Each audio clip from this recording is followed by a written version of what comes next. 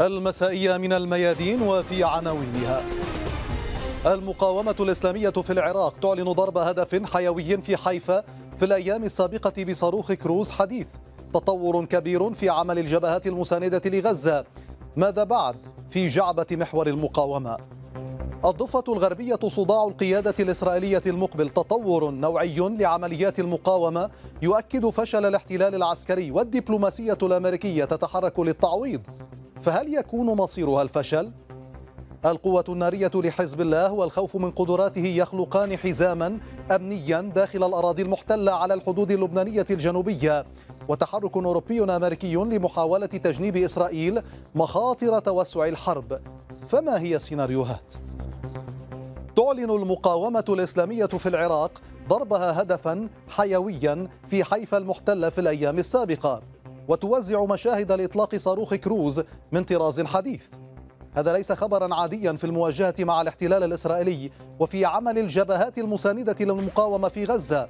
هذا تحول نوعي كبير لناحية الهدف والسلاح ومكان الإطلاق. عندما ينطلق صاروخ من الأراضي العراقية ويعبر ما يعبر وصولا إلى الأراضي المحتلة فهي رسالة عسكرية وسياسية من العيار الثقيل. هي جبهات تحركت كلها نصرة لغزة وأهلها ومقاومتها وصمودها وشهدائها وأطفالها والجرحى ومقابر الموتى التي نبشها الاحتلال. على مقربة تقع الضفة الغربية التي أصبحت مع المقاومة فيها القلق المقبل للاحتلال الإسرائيلي لما تشهده من تطور في العمل المقاوم. لقد تفاجأ الاحتلال كيف أن الضفة ما زالت تقاوم رغم أنه منذ طوفان الأقصى بلغ رقم الشهداء 315 والاعتقالات نحو خمسة آلاف فضلا عن تعطيل الحياة ومحاصرة المدن ومنع أموال السلطة ما أوقف عمل 250 ألف عامل. كذلك هي جبهة جنوب لبنان جنوب لبنان. وأقوى الضربات الأخيرة استهدفت قاعدة رادارات ميرون الاستراتيجية لتضاف إلى تهجير سكان المستوطنات وتشكيل ضغط متزايد على الحكومة الإسرائيلية وحزام أمني داخل الأراضي المحتلة. ولتجنيب إسرائيل هذا الخطر إذا توسعت الحرب تتحرك الدبلوماسية الأوروبية والأمريكية باتجاه لبنان وتحديدا حزب الله ليبقى الجواب من المقاومة الإسلامية في لبنان. العودة إلى الهدوء يوفرها فقط وقف الحرب على غزة. في المسائية لليوم مشاهدينا معنا من واشنطن الكاتب والباحث في الاقتصاد السياسي الدكتور زياد الحافظ. معنا من رام الله الإعلامي والمحلل السياسي معمر عرابي. ومعنا أستاذة العلاقات الدولية في الجامعة اللبنانية ليلى نقولة. أهلا بكم جميعا ضيوفنا. أستاذ معمر أبدأ معك. صاروخ الأرقب ينطلق من الأراضي العراقية. يصل حيفا التوقيع المقاومة الإسلامية في العراق. أي دلالات تحملها أو يحملها هذا هذا الصاروخ الذي وصل إلى حيفا وكيف تلقت تل أبيب هذا الخبر؟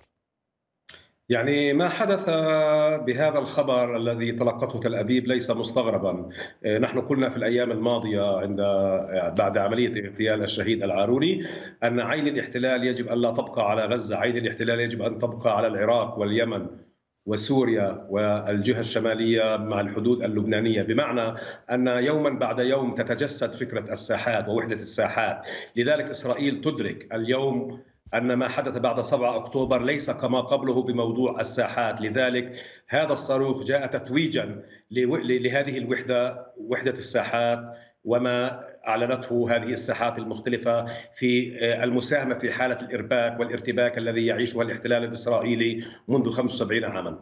بعد إيلات واستهداف إيلات أم الرشراش من قبل اليمنيين وأيضا ما يحصل في البحر الأحمر أستاذ زياد الحافظ ها هي صواريخ العراق تنطلق وتصل إلى ميناء حيفا، هنا نريد أن نسأل عن واشنطن. واشنطن بعد كل هذه التطورات التي حصلت مؤخرا وواضح أن هناك قلق. هذا أيضا يعني نسمعه ويمكن أن نستخلصه من التصريحات للمسؤولين الأمريكيين.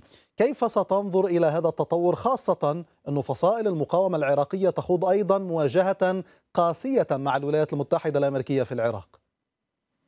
في البداية سلام القدس عليك وعلى ضيوفك الكرام وعلى المشاهدين الميادين.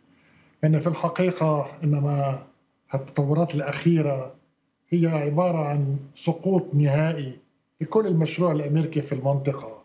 حاولت عبر احتلال العراق أن تخلق عراقا لا يناهض إسرائيل وإذا اليوم العراق هو في قلب الساحة في الصراع مع الكيان الصهيوني. وكذلك الأمر بالنسبة لليمن حاولوا عبر العدوان التحالف العدواني على اليمن إخراج اليمن من أي دائرة أستاذ زياد فأنا لا أريد أن أقاطع ولكن أنت حضرتك ذكرت النقطة ربما مغزى الموضوع عندما تحدثت عن العراق. أنا أريد أن أركز على العراق لأنه هذا كان الخبر الأحدث وأيضا لأنه نحن نتحدث عن صاروخ كروز هو صاروخ الأرقب مطور أيضا ينطلق من الأراضي العراقية ويصل إلى حيفا لا تسقطه آه، منظومة قبة حديدية ويعبر كل هذه المسافة ويصل هذه لها دلالات. نريد أن نعرف واشنطن كيف يمكن أن تنظر إلى ذلك. عذرا على المقاطعة. وصل لك إلى الحديث إنه يعني سقوط كل المشروع الأمريكي هذا يشكل نوع من الإرباك والحيرة بالنسبة للإدارة الأمريكية الحالية التي تخوض معركتين معركة داخلية لإعادة انتخاب الرئيس الأمريكي ومعركة خارجية لتثبيت دورها ونفوذها في المنطقة وفي العالم بعد أن ضربت صورة هذه الولايات المتحدة. الصاروخ الذي انطلق من العراق والذي خرق القبة الحديدية هو أيضا إسقاط للمنظومة الدفاعية الإلكترونية التي أحدثتها الولايات المتحدة في الكيان والتي اعتبرت أن هذا قد يستطيع أن أن يصد أي شيء. وتبين أن ليست الكيان ليس بمنع عن ذلك صاروخ واحد يستطيع ان ان ان أن يخترق. فماذا يعني هذا بالنسبة لقيمة المنظومة الدفاعية؟ ولكن الدلالة السياسية هي أكبر من ذلك. الدلالة السياسية إنه الولايات المتحدة التي حاولت إرسال رسائل نارية ضد ضد ضد الحشد الشعبي ضد المقاومة في العراق عبر اغتيال آه، أحد قادتها كان الرد بشكل واضح أن المعركة هي مع الولايات المتحدة ومع الكيان الصهيوني بشكل مباشر. وكان ذلك الصاروخ. المعنى السياسي واضح أن كل محاولات الولايات المتحدة لاخراج العراق من دائرة الصراع هي بدون جدوى وليس للولايات المتحدة أي رد فعلي أو ناجع في هذا الموضوع.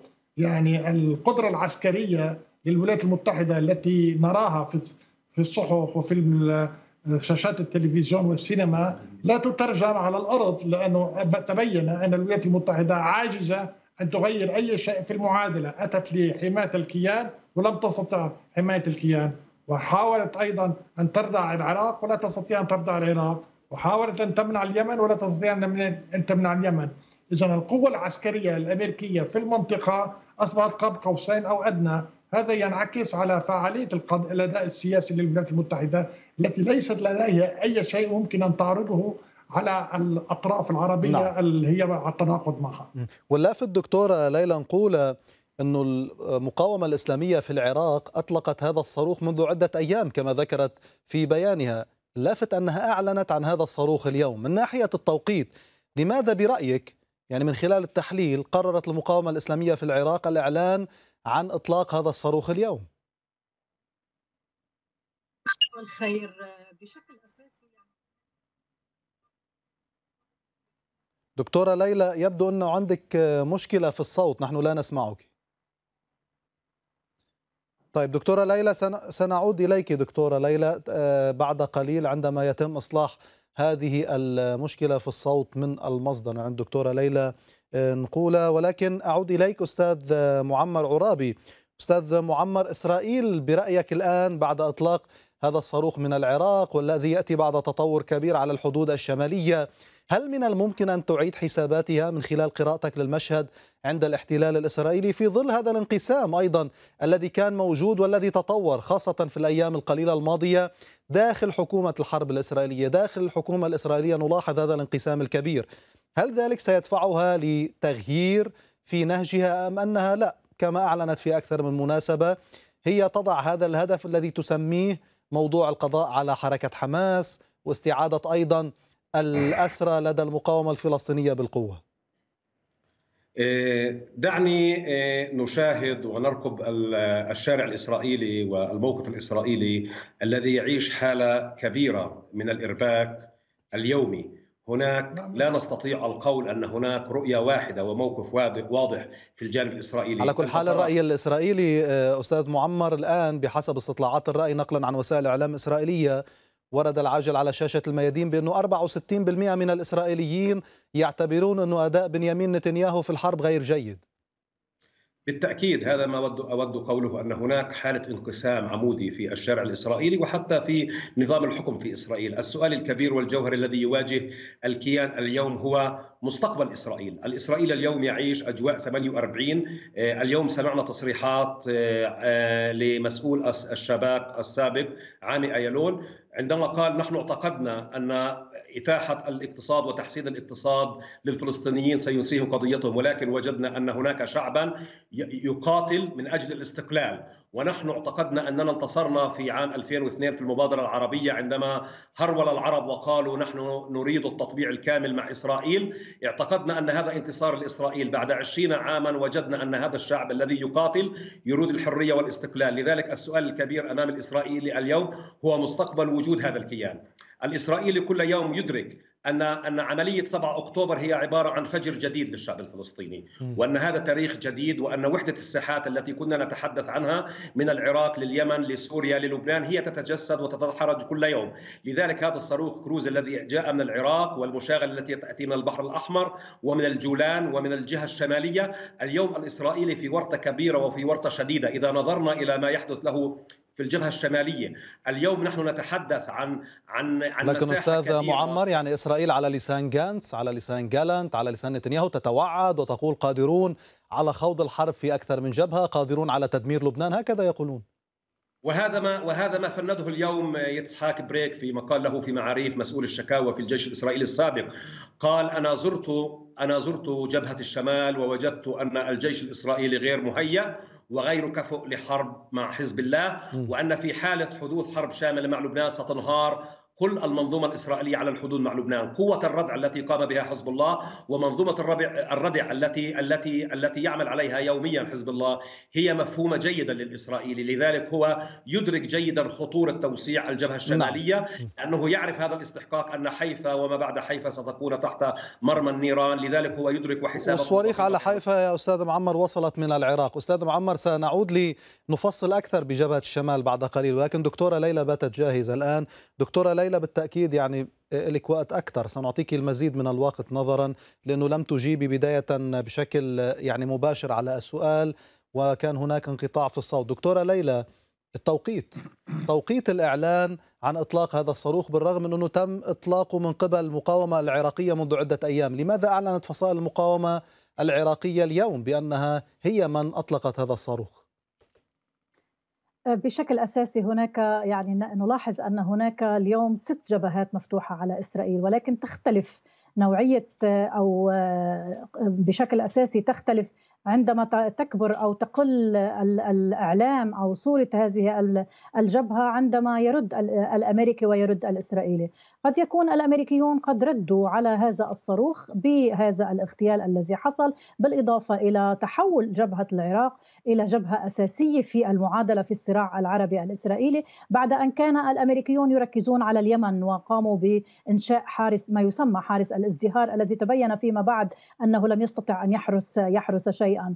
أعتقد أن المقاومة العراقية سوف يعني والجهد العراقي ضد الإسرائيل سوف يتصاعد يوما بعد يوم ليجد الإسرائيلي أن هناك ست جبهات سوف تشكل ضغطا عليه بشكل أساسي. وإذا كان الأمريكيون يحذرون دائما من جبهة حزب الله هناك رسائل من قوى المقاومة تقول أن جبهة حزب الله هي جبهة من عدة جبهات وقد تكون العراق وقد تكون اليمن أكثر ايلاما أحيانا أو بمستوى ولكن دكتورة ليلى يعني أفهم منك الآن إنه ما يحصل من آه، رفع تصاعد إن كان كما ونوعا من قبل ساحات محور المقاومة هو مدروس ومنسق بين مختلف هذه الساحات لأنه لافت أن يتم الإعلان عن هذا الصاروخ بعد يوم واحد أيضا من استهداف قاعدة ميرون في جنوب لبنان أو على عفوا نعم. على في جبهة جنوب لبنان على الحدود الشمالية لفلسطين المحتلة نعم أنا أتصور أن أن الموضوع مدروس ومنسق أن محور المقاومة آه، ينسق مع بعضه البعض. طبعا أنه طوفان الأقصى حصل بقرار فلسطيني وبقدرة فلسطينية ولكن الرد عليه كان منسقا بين محور المقاومة. التصعيد التدريجي منسق بين بين حلف محور المقاومة. بالإضافة إلى أنه يعني كان هناك واضح بأن جبهات المساندة هذه تقوم بقدر يعني الرد بقدر الحاجة. الرد بقدر ما يحتاجه الميدان ما يحتاجه الصراع. فكلما تصاعد الصراع كلما اعتقد الإسرائيلي أنه سوف يوسع نحو يعني يوسع عدوانه خارج إطار غزة كلما تصاعدت الجبهات الأخرى وضغطت على الأمريكيين بشكل أساسي لأنه بدون قرار أمريكي وبدون ضوء أخضر أمريكي لا يستطيع الإسرائيلي أن يستمر في هذه الحرب. على كل حال إحدى الجبهات الرئيسية مشاهدين منذ السابع من أكتوبر حتى اليوم الضفة الغربية.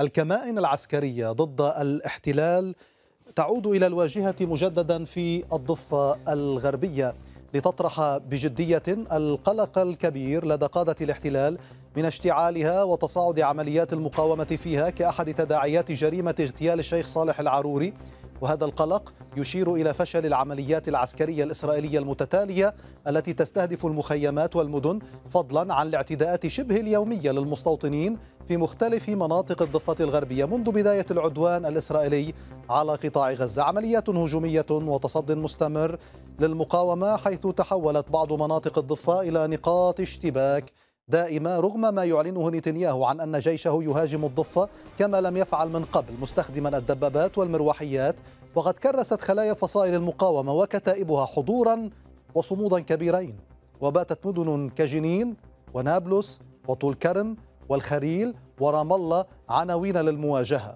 جاءت الضربة التي وجهتها كتيبة جنين للقوات الإسرائيلية التي اقتحمت المدينة لتظهر تطور العمل المقاوم لدى أبناء الضفة. ووفق جهاز الأمن الداخلي الإسرائيلي قتل 41 إسرائيليا على الأقل في عمليات نفذها فلسطينيون عام 2023 الماضي في الضفة الغربية والقدس المحتلة. في هذه الأثناء يستبعد محللون أن يتمكن وزير الخارجية الأمريكي من تحقيق نتائج في زيارته الجديدة للشرق الأوسط التي يواصل فيها محاولة ترسيخ الرؤية الأمريكية لليوم الذي يلي وقف إطلاق النار في غزة. على قاعدة فرضية هزيمة المقاومة. الرؤية الأمريكية بحثها الوزير بلينكن في تركيا والأردن وقطر وسمع في عمان رفض الأردن محاولات الفصل بين غزة والضفة الغربية ورفضه أي تهجير قسري للفلسطينيين. في وقت يحمل فيه بلينكن أيضا هاجس اتساع الصراع في إشارة منه إلى التطورات الميدانية على الحدود مع لبنان. أستاذ معمر الضفة الغربية مجددا.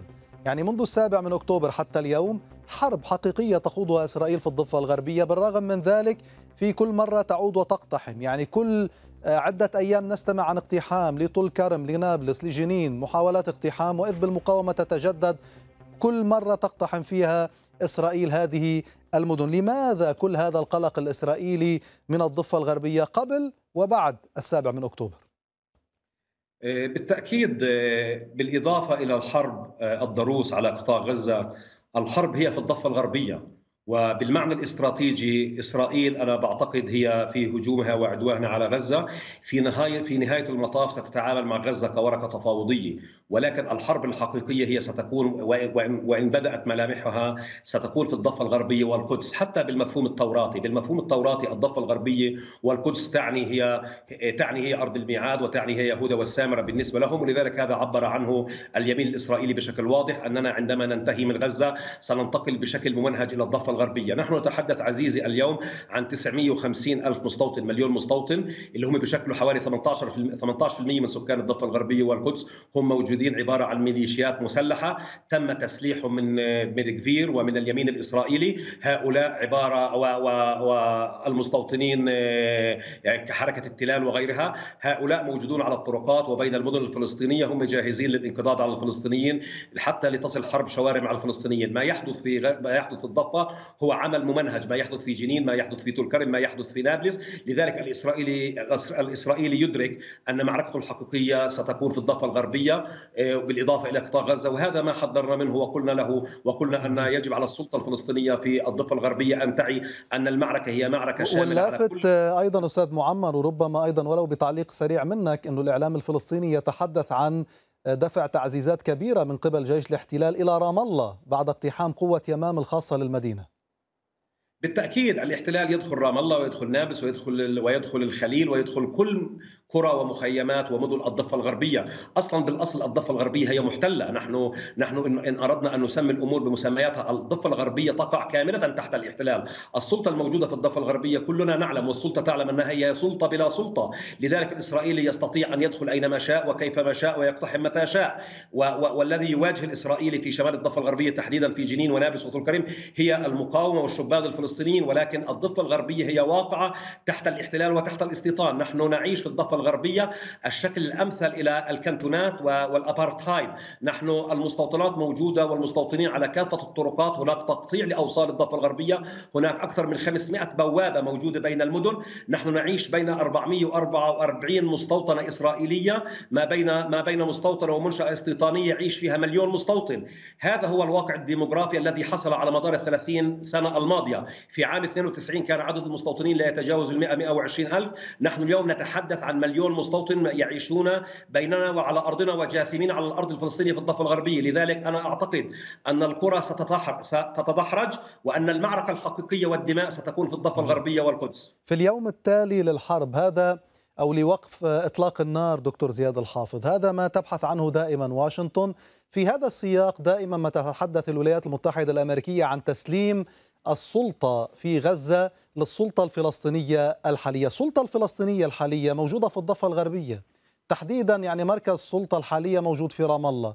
قوات الاحتلال الآن تقتحم رام الله. الولايات المتحدة الأمريكية هل نفهم بأن موقفها الآن هو تغطية أيضا العدوان على الضفة الغربية بهذا الشكل الذي تقوم به إسرائيل؟ كما هو الحال بدعمها للعدوان على قطاع غزة؟ سيدي العزيز الولايات المتحدة شريكة أساسية في العدوان على غزة وعلى الضفة الغربية يعني لا يجب أن يكون هناك أي التباس ولكن لا لأنه دكتور زياد كما تعلم أنه الولايات المتحدة الأمريكية تقول أنه باليوم التالي للحرب يجب أن نسلم السلطة في غزة للسلطة الفلسطينية الحالية الموجودة وهي في نفس الوقت تسكت على موضوع اقتحام الضفة بهذا الشكل وهذه الضفة التي تتواجد فيها هذه السلطة. سيدي العزيز الولايات المتحدة ليست لديها رؤية واضحة تريد أن تسلم الضفة الغربية للسلطة وهي تساهم في الاقتحام الضفة الغربية التي مبدئيا هي تحت السلطة. يعني كيف يستقيم ذلك؟ هذا يعني ليس هنالك من جدية في الموقف الأمريكي. الأمريكي الموقف الأمريكي يتماهى كليا مع الخطة والأهداف الإسرائيلية. ولكن ما لا يريد أن يتحمله هو النتائج السلبية التي تظهر في الإعلام من وحشية الكيان الصهيوني. هذا فقط لا غير. نريد أن تقول أن نحن نتكلم بالسياسة ونريد أن نتكلم في التسويات إلى آخره ولكن الضوء الأخضر معطى للكيان الصهيوني في آه، آه، الاستمرار في العدوان في ضفة وفي غزة إلا على على قاعدة أن لا يتوسع تتوسع رقم القتال جغرافيا في المنطقة. ولكن هذا ليس بيد الولايات المتحدة أن تتحكم به. هذا بيد المقاومة بحد ذاتها ومحور المقاومة. وهذا ما هي دلالة مثلا الصاروخ العراقي الذي أرسل أطلق على حيفا. هذا يعني أن الولايات المتحدة تحاول إظهار في الإعلام أنها ممسكة ممسكة بزمام الأمور ولكن هي فاقدة زمام المبادرة في الميدان. دكتور زياد لاحظ حتى في الضفة لاحظ إنه هناك عودة للكمائن هناك تفجير عبوات ناسفه هناك قتل لجنود الاحتلال استهدافات مهمة أيضا للمقاومة الفلسطينية في الضفة. يعني هنالك انتفاضة بكل معنى الكلمة موجودة في الضفة الغربية وإن كانت مختلفة عن الأشكال الماضية ولكن هناك انتفاضة بكل معنى الكلمة في في في في, في, في الضفة استكمالا لما حصل في في في طوفان الأقصى. يعني كل فلسطين منتفضة اليوم ضد الوجود الصهيوني والولايات المتحدة ليس لديها في جعبتها ما يمكن أن تقوم به لتهدئة الوضع ولإنقاذ الكيان الصهيوني. المبادرة السياسية اليوم لا جدوى لها. يعني علينا أن نعي الكلفة الحقيقة التالية بالنسبة للدول التي تريد أن تتماهى مع سياسة الولايات المتحدة. بات واضحا عندها أن كلفة الرضوخ للإملاء الأمريكي وللحلول الأمريكية هي أكثر بكثير من كلفة الوقوف ضد هذه الإملاءات والتناقض معها. لذلك ستكون كانت كانت وستكون رحلات آه، المكوكيه لبلينكن في المنطقة رحلات فاشلة دون أي جدوى أساسية. لا ننسى ان قيادات عربية رفضت تلتقي ببايدن. فما بالك بالنسبة هذه سنتوسع فيها بعد قليل دكتور زياد الحافظ. لا أريد أن أحرق هذه النقطة نحتاج إلى التوسع فيها معكم مع ضيوفنا. ولكن دكتورة ليلى نقول الضفة الغربية أن تصمد بهذا الشكل أن تتطور فيها المقاومة.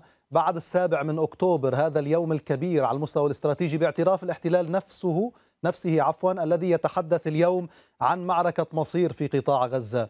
ما أهمية صمود الضفة في ظل هذا العدوان الإسرائيلي غير المسبوق عليها بهذا الشكل في إطار الصراع الذي يخوضه الفلسطينيون مع الاحتلال الإسرائيلي وفي إطار أيضا البناء على السابع من أكتوبر. بشكل عام هناك عدة عناوين كانت إسرائيل تقوم بها يعني سياستها في الضفة الغربية خاصة بعد السابع من من أكتوبر. أول أول عنوان كان هو آه، يعني فصل وحدة الساحات بمعناها الفلسطيني، نحن نعرف أن آه، معيار وحدة الساحات هو له بعد إقليمي وبعد داخلي فلسطيني، يعني لم يعني بعد عام 2021 عندما أعلن مبدأ وحدة الساحات بعد عملية سيف القدس، كان هناك هذا العنوان بمعنى أن إسرائيل لا تستطيع بعد اليوم أن تستفرد فصيلا فلسطينيا دون الآخر، كانت إسرائيل من بعد السابع من أكتوبر كانت تريد أن تشير إلى أن الضفة والفلسطينيين الفلسطينيين فيها مختلفون عن غزة والفلسطينيون فيها. هذا له آه، له دلالات إعلامية وله دلالات قانونية أيضا. هنا أريد أن أشير فقط إلى أن الموضوع الإبادي في غزة وأي معيار قانوني خاصة بعد الادعاء الذي قامت به جنوب أفريقيا ضد إسرائيل في محكمة العدل الدولية تستطيع إسرائيل أن تتزرع. لو لم يكن هناك أيضا آه، مقاومة فلسطينية في غزة تستطيع أن تتزرع أن الفلسطينيين ليسوا يعني هي لا تبيد الفلسطينيين بصفتهم فلسطينيين فهم أهل الضفة الغربية يعيشون بسلام ووئام ويريدون آه. الاحتلال الإسرائيلي نعم تستطيع أن تتزرع بهذا الأمر لتقول أن أن أعمالها في في غزة ليست عملية إبادة لذلك كان يهمها أن أن تفصل الضفة الغربية عن قطاع غزة سياسيا واعلاميا وميدانيا وحتى من ضمن وحدة وحدة الساحات وقانونيا أيضا. آه، الموضوع الثاني التي يعني أيضا تتعامل معه إسرائيل وهو يعني يغيب عن الإعلام بشكل أساسي وقام قالت العديد من المنظمات الإسرائيلية منظمات السلام الإسرائيلية أن السلطات الإسرائيلية الحكومة الإسرائيلية استغلت الحرب في غزة آه، لتقوم بتوقيع إنشاء العديد آلاف المستوطنات. وأيضا هناك خطر أن يكون هناك طريق تريد أن تفتحه الحكومة الإسرائيلية يقطع كل تواصل فلسطيني مع القدس الشرقية. هذا أيضا تريد أن تعتم عليه إسرائيل وتريد من الفلسطينيين أن يتقبلوه في قضم المجازر التي تحصل تحصل في غزة. آه، الأمر الثالث أنه يعني هي ترهب الفلسطينيين وتريد الإعلام أن أن لا يضيء على أنها اعتق قلت الآلاف من الفلسطينيين في الضفة الغربية بخلال منذ 7 أكتوبر ولغاية اليوم بالإضافة إلى إلى آه، آه، استشهاد العديد من الفلسطينيين أيضا كما قلت حضرتك 300 أكثر من 300 فلسطيني في الضفة الغربية، إسرائيل لا تريد أن يكون هناك تركيز إعلامي على هذه الأمور على الانتفاضة في الضفة الغربية لأن هذا سوف آه، يدفع الإعلام في العالم الغربي إلى الإضاءة. إذا كنتم تقولون يعني السرديه الاسرائيليه إذا كانت تقول بأن المدنيين قتلوا في غزة لأن حماس آه، يعني كما يقول الإسرائيلي آه، تعيش بينهم وتستعملهم آه، دروع بشرية فما هي حجة إسرائيل بأن تقتل كل هذه الأعداد من الفلسطينيين في الضفة الغربية؟ أعتقد إنه انتفاضة الضفة اليوم سوف تغير أيضا في مسار الحرب في غزة في مسار الإعلام الغربي وتعاطيه مع العدوانات العدوان الإسرائيلي على الفلسطينيين نعم. ومع السردية الإسرائيلية بشكل عام. بعد ثلاثة أشهر على طوفان الأقصى أستاذ معمر عرابي نحن نتحدث اليوم نحن في اليوم السابع من شهر كانون الثاني 2024 يعني مرت ثلاثة أشهر بالتمام والكمال على طوفان الأقصى. هو أنتوني بلينكين وزير خارجية الولايات المتحدة الأمريكية يصل مجددا إلى المنطقة والحديث يتكرر عن اليوم التالي لما بعد هذه الحرب. والحديث دائما يأتي من منطلقا من انه هناك هزيمة محتمه للمقاومة، المقاومة ما زالت صامدة حتى هذه اللحظة وبكل قوة، ولكن السؤال أي جديد برأيك من الممكن لواشنطن أن تقدمه للطرف الفلسطيني خلال هذه الزيارة لبلينكن، يعني كفلسطينيين كمحللين كمراقبين، هل لمستم أي شيء جديد ممكن أن تقدمه واشنطن؟ يعني السيد بلينكن زار المنطقة في الثلاث شهور الماضية أربع مرات على التوالي ولا جديد في الحديث في الموقف الأمريكي سوى النكتة السمجة الذين يتحدثون عنها اليوم التالي، وإذا لاحظت في الفترات الأخيرة هناك ليس فقط رسائل متناقضة ومتعارضة، هناك حالة إرباك تعيش الحال الإدارة الأمريكية، الإدارة الأمريكية كانت تعتقد وجزء كثير من العرب للأسف والاحتلال الإسرائيلي أن غزة لم تصمد أكثر من عشرة أيام أسبوعين على الأكثر وسيكون هناك إدارة جديدة ويوم تالي وإلى آخره. لذلك هم يعيشون حالة الصدمة بعد 92 يوما ما زالت غزة تقاوم. لم يحققوا في غزة شيء سوى القتل. إسرائيل تقتل ولا تقاتل في غزة. إسرائيل تدمر تدمر البشر والحجر ولكن غزة صامدة والمقاومة صامدة في غزة. لذلك قضية اليوم التالي أنا أعتقد هي هذه نكتة أصبحوا هم لا يصدقونها لأن اليوم التالي هو اليوم الأخير في الصمود ووقف العدوان في غزة هو الذي يحدد. لذلك هم لا يعرفون ما هو اليوم التالي. تارة يقول يجب القضاء على حماس وتارة يقول نحن نستوعب وجود حماس ويجب أن نتعامل مع حماس. هو التقى مع أردوغان قال له حماس أصبحت ورقة محروقة وفي نفس الوقت قال له عليك إقناع حماس. هذه حالة الإرباك الذي يعيشه الأمريكي والإسرائيلي وجزء من النظام العربي الرسمي المتصهين هم كانوا يت... هم كانوا يدركون أن أو كانوا يعتقدون أن غزة لن تصمد أكثر من أسبوعين على الأكثر وأن المقاومة ستنهار وستكون غزة تحت الاحتلال الإسرائيلي. لذلك كل يوم صمود في غزة هو يصعب المسألة عليهم بالمعنى الاستراتيجي. لذلك السؤال الكبير يرتد عليهم ويجب أن لا نرفع التوقعات من الموقف الأمريكي. الموقف الأمريكي يبيع الوهم ويشتري الوقت وهو في حالة إرباك أعتقد هو في موقف صعب. هو والإسرائيلي لا يعرفون هم أنفسهم لا يدركون ولا يعرفون ما هي ملامح اليوم التالي الذين يتحدثون عنه. اذا يبيع الوهم الموقف الأمريكي دكتور زياد الحافظ كما يقول أستاذ معمر عرابي. ولكن في الفترة الأخيرة جون كيربي كان له تصريح لافت جدا عندما يقول بأنه القضاء على حماس كفكرة أمر مستبعد إنها ليست مجرد مجموعة من الإرهابيين ليتم القضاء عليها عسكريا. هل هذا يعني أن هناك طريقة تعاطي جديدة من الولايات المتحدة الأمريكية؟ أم أن التصريح شيء الموقف شيء عندما يتم الحديث والكلام والتطبيق على الأرض شيء آخر؟ ونحن نتحدث هنا انطلاقا من زيارة بلينكن. سيدي العزيز الوضع في الإدارة الأمريكية كما يقول في العامية حارد كل من إيده لإله. يعني كلام النهار يمحو الليل. ما يقوله مسؤول في الإدارة قد يناقضه مسؤول آخر في, في, في الإدارة. هذا هي السمة لهذه الإدارة. يعني من أسوأ الإدارات التي توالت على على السلطة في الولايات المتحدة منذ تأسيسها. يعني حتى الأمريكيين يقولون لم نرى مثل هذه الإدارة. في موضوع آه، آه، الصراع القائم في المنطقة ليس هنالك من رؤية واحدة لأن هنالك انقسام داخل الإدارة. هناك من يريد توسيع رقة المواجهة لأنه يعتقد المواجهة الحقيقية ليست مع حماس ولكن مع الجمهورية الإسلامية في إيران. ويريدون التوسيع المواجهة مع إيران مهما كلف الأمر ولا يكترثون للنتائج اللي ممكن أن تكون. ولكن هنالك أيضا فريق في الإدارة يعتقد أن توسيع الرقعة قد يؤثر في الحظوظ إعادة الانتخاب للرئيس بايدن. لذلك نرى هذا التجاذب بين المواقف المتعددة المختلفة. ولكن حتى هذه الساعة لم يحسم الوضع. يعني ولكن الميل تميل رويدا رويدا لمصلحة الذين يريدون توفير الحظوظ لإعادة انتخاب بايدن وليست لاستفادة من ما يعتقده البعض الفرصة التاريخية للقضاء على الجمهورية الإسلامية وعلى كل البؤر التي تناهض هيمنة الولايات المتحدة. لذلك تم إرسال الأساطيل. ولكن بات واضحا أن هذه الأساطيل هي بمثابة مع السلاح الجديد الموجود في المعسكر الشرقي المقابل سواء في الجمهورية الإسلامية أو حتى في غير الجمهورية الإسلامية. هو جعل هذه الأساطيل خردة عائمة وبالتالي تمسح بالأسطول الأساسي حاملة الطائرات الأساسية لأن لا تستطيع أن تتحمل نتائج أي عدوان أو أي عدوان أي هجوم من قبل جهة عربية على هذه هذه القطع الأساسية، لذلك الولايات المتحدة عملت قامت بعملية عرض عضلات ولكن لا تستطيع أن توظفها في السياسة، ليس لديها مشروع سياسي يمكن تسويقه، لذلك كل هذه الحركات حركات بائسة لا لا تغني عن جوع ولا تسمن وهذا هو مأزق الولايات المتحدة.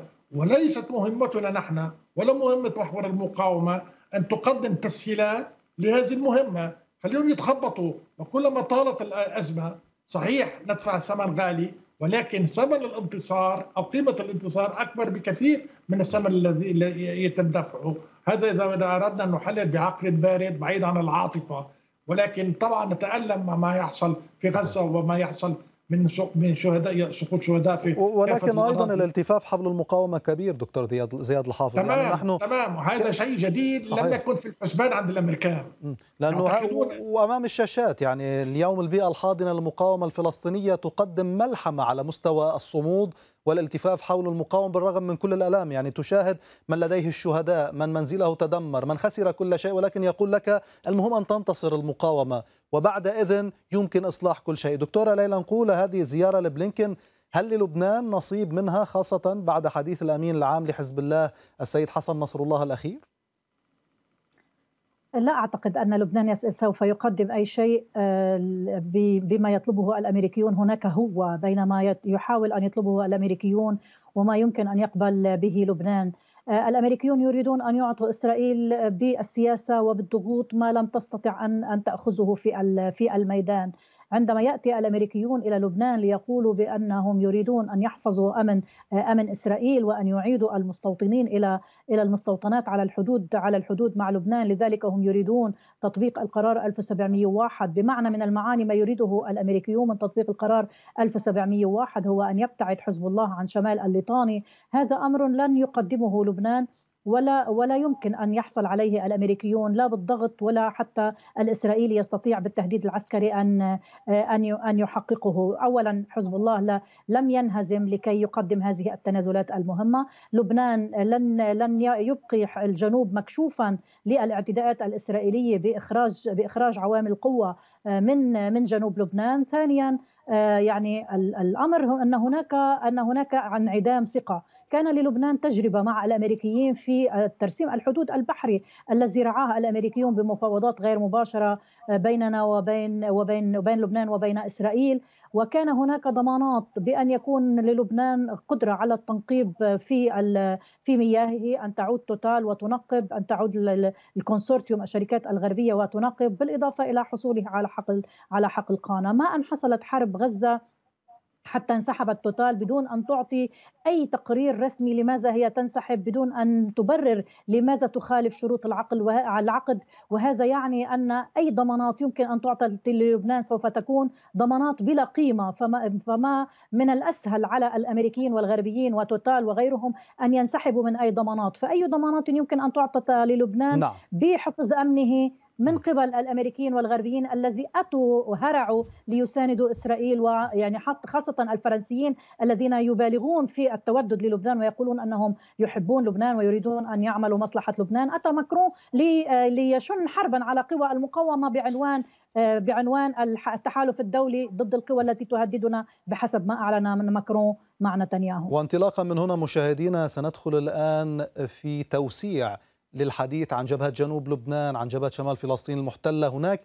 أزمة نزوح كبيرة في الشمال مع استمرار عمليات المقاومة. حسابات جديدة تفرض بعد استهداف قاعدة ميرون الاستراتيجية في الشمال واعتراف الاحتلال بتضررها وقلقه من معلومات حزب الله. حسين السيد. النار بالنار. هو عنوان الجبهة الشمالية. تضرب المقاومة بلا هوادة ردا على كل اعتداء. هنا لا صدى للتهديدات والتهويلات الإسرائيلية. وحدها أصوات الصواريخ هي المسموعة في ميدان هو الفصل والحكم. تبعث المقاومة برسائلها الميدانية وفق ما تقتضيه المرحلة. من أهداف تختارها بعناية وكذلك من خلال الأسلحة المستخدمة وتوقيت الضربة. الله أكبر. معركة يبدو أنها ستحفر عميقا في أذهان المستوطنين. يرفض معظمهم فكرة العودة إلى الشمال من دون حل جذري لمشكلتهم والحل يعني إبعاد حزب الله. لكن ذلك يبدو شبه مستحيل باعتراف قادة إسرائيليين وأمريكيين. يثقل النازحون من الشمال الملتهب كاهل الاحتلال اقتصاديا وسياسيا. عددهم يصل إلى أكثر من 230 ألف نازح وفق صحيفة وول ستريت جورنال وأمام هذه الأرقام يسقط وهم المسؤولين الإسرائيليين المتكرر عن ردع مزعوم. لكن الخطر الأكبر يتمثل باتساع رقعة الحرب ومدايات النار. بالتالي بخلق حركة نزوح أكبر وترسخ لفكرة عدم العودة. خوفا من تدهور الأمور يهب الغرب لنجدة إسرائيل. حفلة زيارات يشهدها لبنان والمنطقة عنوانها تجنب الانجرار نحو حرب كبرى. لكن يبدو أن من التقى مسؤولين في حزب الله ومن سيفعل سيسمع الجواب نفسه. لا حلول على الجبهة الشمالية قبل وقف العدوان على غزة. أما تهديدات المسؤولين الإسرائيليين بتوسيع الحرب لتشمل لبنان فتعطي مفعولا عكسيا مع تسجيل انزعاج أمريكي منها. تحذر الإدارة الأمريكية تل أبيب في محادثات خاصة من تصعيد كبير في لبنان وفق ما كشفته صحيفة واشنطن بوست. وهذا التخوف الأمريكي ينبع حقيقة من إيمان واشنطن بصعوبة تحقيق نجاح إسرائيلي في الحرب على حزب الله وفق تقييم استخباري أمريكي.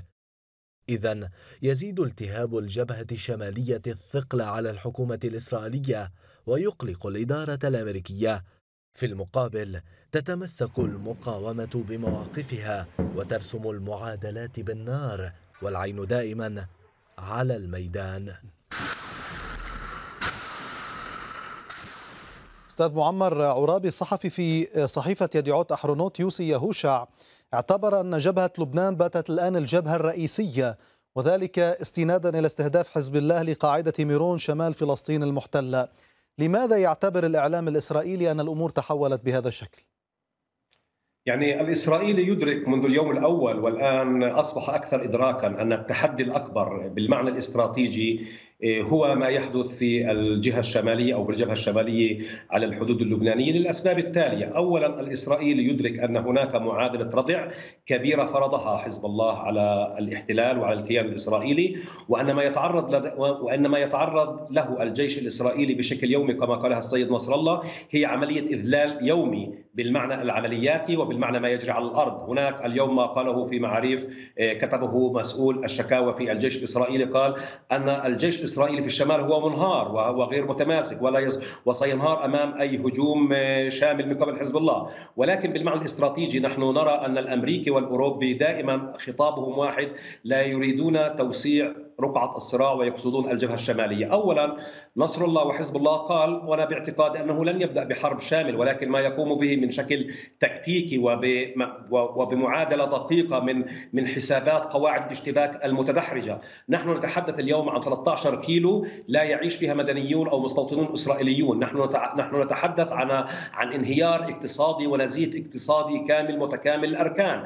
نحن نتحدث عن 70% اليوم 80% من من الشركات الإسرائيلية في الشمال فلسطين المحتلة. تعتمد على السياحة. هناك 76% حسب موقع جلوبس وذي ماركر أنه 73% من السياحة تراجعت في لدى دولة الكيان. نحن نتحدث عن 70% من المزروعات وسلة الغذاء للاحتلال موجودة في الشمال في شمال فلسطين المحتلة.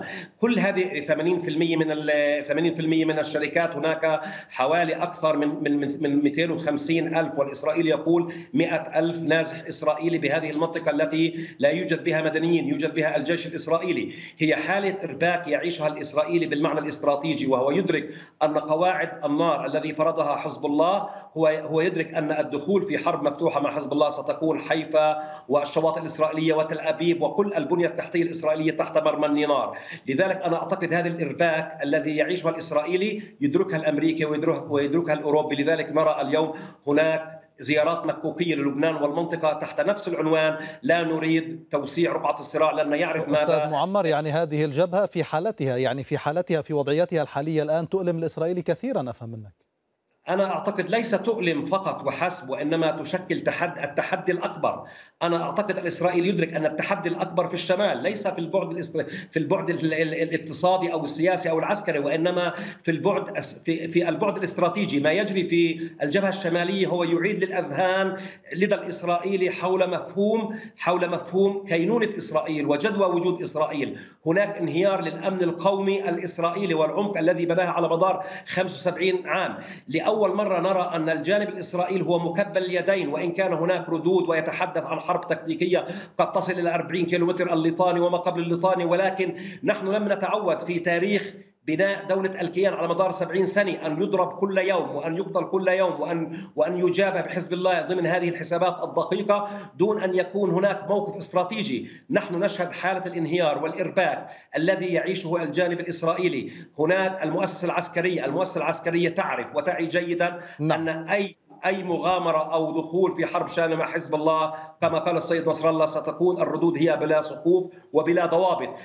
حتى لو تحدثوا عن لبنان وتدمير لبنان هم يعرفوا أن عام 2024 ليس عام 2006 هل ما قاله الأستاذ معمر عرابي دكتور زياد الحافظ هو ما دفع بوريل مثلا إلى زيارة لبنان الحديث عن زيارة هوكستين يعني أيضا بلينكن في المنطقة ويتحدث عن ضرورة عدم توسيع هذه المواجهة. وصحيفة واشنطن بوست تنقل عن تقييم استخباري أمريكي بأن توسيع الحرب لتشمل لبنان يثير قلق الولايات المتحدة الأمريكية. هل السبب سبب هذا القلق؟ ما يقوله الأستاذ معمر عرابي؟ طبعا لأنه الموقف الغربي سواء كان أوروبي أو أمريكي ليس الحرص على أرواح اللبنانيين ولكن الحرص على عدم تكريس الهزيمة الاستراتيجية للكيان الصهيوني. عدم توسيع رقعة القتال هي ليس للحفاظ على الأمن والاستقرار في المنطقة بل للحفاظ على الكيان الصهيوني فقط لا غير.